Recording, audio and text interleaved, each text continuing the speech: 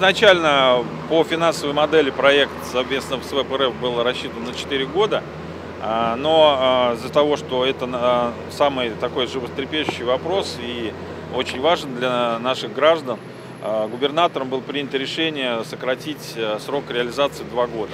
Работы на самом деле глобальные, вот вы, наверное, обращаете внимание, что мы производим, фактически полностью меняется корыто, практически все э, сети а, свыше 400 диаметра мы тоже меняем на этих участках, чтобы потом к ним не возвращаться. Делаем а, дополнительную изоляцию, дополнительные футляры на газопроводы, на сети электрических коммуникаций, на сети связи. Частично тоже перекладывается, частично просто меняется. Поэтому срок поставлен два года. Мы а, Причем девятка и восьмерка поставлена задача сделать уже до конца следующего года уже трамвайные пути. Поэтому мы делаем все возможное, чтобы это сделать. А, организуем движение. Я постоянно на стройке совместно с подрядчиком а, производим эти работы. Вот. Были сложности с проектом, но мы сейчас э, получили проектное решение, и это нам позволяет крупномасштабно развернуть работу. Сейчас это администрация занимается, вот они готовили? Ну, расскажите Да, нам буквально вчера поступили данные от э, подрядчика, сейчас мы их анализируем. И после этого все необходимые мероприятия по претензиям и соответствующей исковой работе будут проделаны. Но это будет в течение ноября или декабря? В течение ноября. А какая будет грозит ответственность за рабочих? Ну, это определит суд, какая ну, ответственность будет. Требуется? Возмещение затрат, естественно, внесенных затрат. Не было проектных решений, мы сейчас их получили. Плюс, э, на, допустим, на участке от э, монтажного техника по второй садовой мы перекладывали 2 тысячевых, 2 тысячевых водопровода, которые тоже как мешали производству работ. Сейчас мы получили проектное решение, везде у нас фактически будет э, устраиваться дренаж дополнительный, который изначально в проекте не был. И мы разворачиваем работы. Первоначально рельсы, я думаю, появятся на э, улице Политехнической, э, потому что там уже высокая готовность. На сегодняшний день там выполняется первый этап, первый этап балластный слой. Он и первым этапом был изначально в проекте. Потом, соответственно, это будет улица Слонова. Вот, постепенно сейчас со Слонова э, также балластный слой, я думаю, до конца недели, до середины следующей мы должны закончить на Слонова. Переходим на улицу Степана Разина и параллельно улица Вторая Садовая и Огородная. На Огородной еще у нас осталось э, порядка трех коммуникаций. Из них э, мы э, вывели, не будем делать канализацию фактически все, потому что мы их вскрыли. Футляр в нормальном состоянии на глубине 5 метров и, соответственно, сама труба тоже в надлежащем состоянии. В принципе, мы ее трогать не будем, будем менять только водоводы, которые у нас обеспечивают без исключения граждан, потому что они у нас обеспечивают насосные станции, да, на улице Огородной. На улице Огородной у нас э, трубопровод был заменен в 2021 году, который идет вдоль Тыщевой, большая его часть. Это от улицы 2 Нагорной до улицы 7 Нагорной.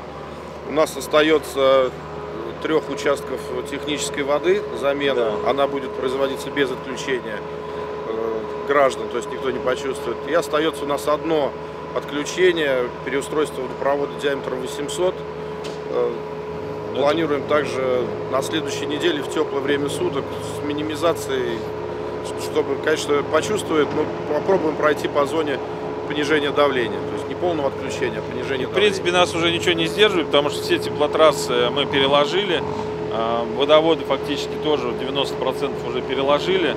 Вот, остались только мелкие коммуникации, это кабельные линии, сети связи и так далее, ну, которые мы параллельно, вот если вот обратить внимание, вот сейчас газ здесь э, изолируется, то есть это все мероприятие. защитное мероприятие. Есть да. какая-то привязка к дате, вот, техническое внедрение рельсов, хотя бы сейчас на ноябрь, дата или месяц? Ну, подрядчику надо спросить. Подрядчик про, по тем мероприятиям, которые мы сейчас проводим, в адрес заказчика был направлен у нас график, который мы сейчас согласовываем с ним.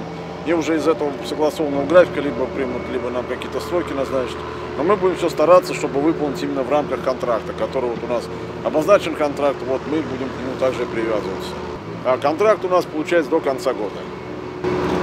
То есть э, предположительно сроки не сдвигаются у нас? Предположительно сроки не сдвигаются, потому что нам надо выполним все эти работы, сами понимаете, срока, иначе э, у нас с вами трамвай не запустится и все, со всеми утекающими отсюда А последствиями. зимний период, э, дожди, снега, они не замедлят э, сами работу?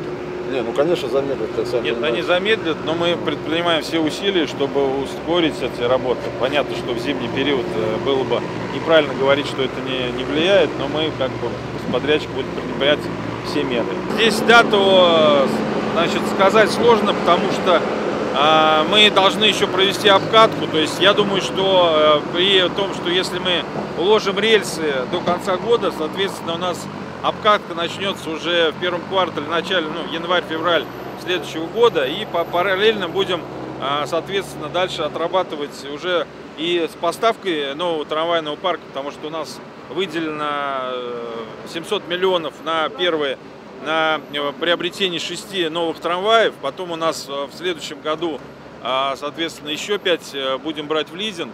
Всего нужно заменить 71 единицу на все четыре маршрута. И параллельно будем вводить э, новый трамвайный парк для того, чтобы уже э, он курсировал по новым маршрутам. Поэтому э, задача у нас как бы в первом квартале уже запустить э, движение какое-то, то есть э, на э, маршруты восьмерки. Ну, обкатка будет длиться, э, там оно, я сейчас трудно мне сказать, э, там 20 тысяч тонн должно пройти по, да. Плюс, понятно, что а, после весенний период, когда уже грунт отойдет от, э, ну, э, от мороза, надо будет это, ну, тоже это все предусмотрено проектом, делается подбивка, поднятие там рельс, если что-то где-то уходит там и так далее. То есть это все технологически предусмотрено. Рельс у нас а, будет а, сплошной, бесшовный. Сначала это делается на накладках, потом, соответственно, вот, а, параллель производится сварка.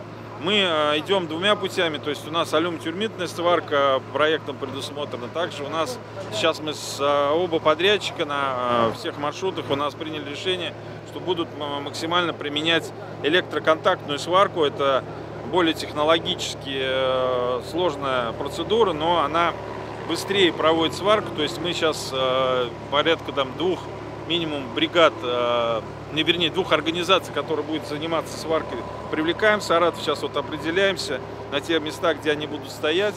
Это цех, который производит за счет, за счет высокого э, напряжения фактически сваривание э, стык в стык э, рельса, потом э, как, как робот, то есть это автоматизированная система, потом проводится э, э, шлифовка, закалка, э, просвечивается сразу стык, он уже выходит как бы монолитный рейс, то есть э, позволяет нам э, до 100 метров хлысты варить, то есть получается потом по месту также есть аппарат, который варит уже э, с помощью дизельной электростанции, передвигается по рельсам и варит уже на месте, тот же электроконтактная сварка.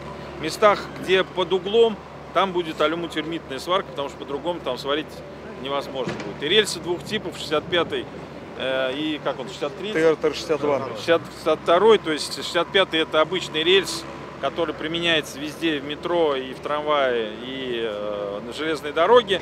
А 62 это трамвайный рельс, он применяется на поворотах, на подъемах, на спусках, чтобы трамвай э, как бы никуда не балансировал.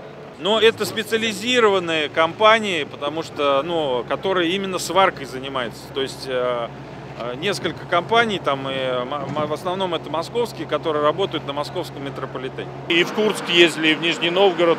Вот э, буквально вчера приехали с Волгограда. Конструктив весь такой же. Единственное, у них э, протяженность меньше.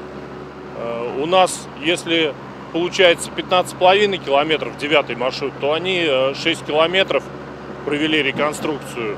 В чем отличие? Здесь, наверное, все видите, тут э, в центре города у нас пересечение с автомобильным транспортом. Э, Там идет трамвай вдоль Волги, вдоль дороги, э, выделенка отдельная. И пересечений коммуникаций практически нет. Они не меняли коммуникации, поэтому у них более процесс быстрее пошел, чем у нас.